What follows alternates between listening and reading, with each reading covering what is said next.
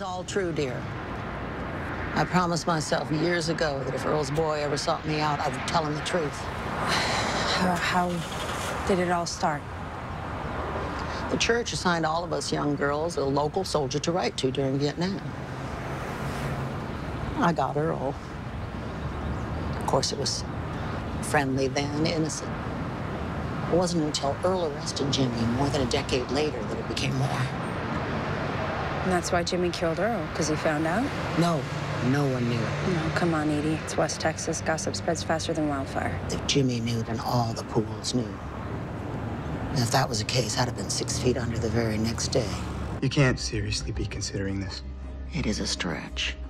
But so is admitting DNA evidence the first time. And a man's life is at stake here, which I do not take lightly. So I'm inclined to give Mr. Bauer a little leeway. Best happy hour in the city, this place. That's awesome. $3 well drinks. Only problem is it doesn't start for two more hours. Carol got here too early. I'm Carol.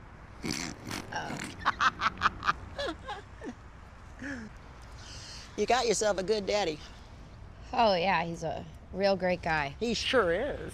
He came all the way out here to see you? I've conferred with the DA, who has agreed to remove the charges of grand theft auto against Mr. Hensdale. However, in light of the defendant's previous record, I cannot let these additional offenses go unpunished. Some of you have inquired about our petition. We have demanded that Lincoln Grove High School offer programs for special students to help them fit in with their classmates. Great. Also, concerning the R word, we have demanded a school policy forbidding students and faculty from using that word. Retard. We all know your opinion on this, Jeremy, but right now I'm the one speaking. Brothers and sisters, we must take back the word retard. Sweetheart, the rest of us find the word offensive. I'm not your sweetheart, bitch. I don't care how it's used. I don't want anybody calling my son that word ever. It's incredibly hurtful.